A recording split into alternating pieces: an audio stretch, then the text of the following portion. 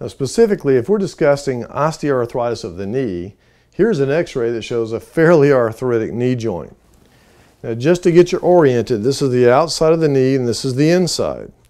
Now here is an adequate and what would be considered a normal joint space in its volume, but you can see the bone spurs that have occurred here.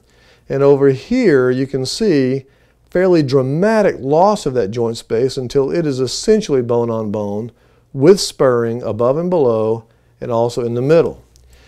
Now with a little imagination you can see that this lower leg bone is also shifted slightly toward the outside which happens with osteoarthritis. Now to correlate that with a knee joint, here's a model.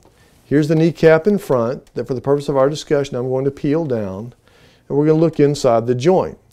Now this is the meniscus or the shock absorber on the inside. Here's the meniscus or the shock absorber on the outside. If these are worn through and the joint surface is worn through, then it wears down off center and you have the same type of wear pattern here that you would have with what's called medial wear.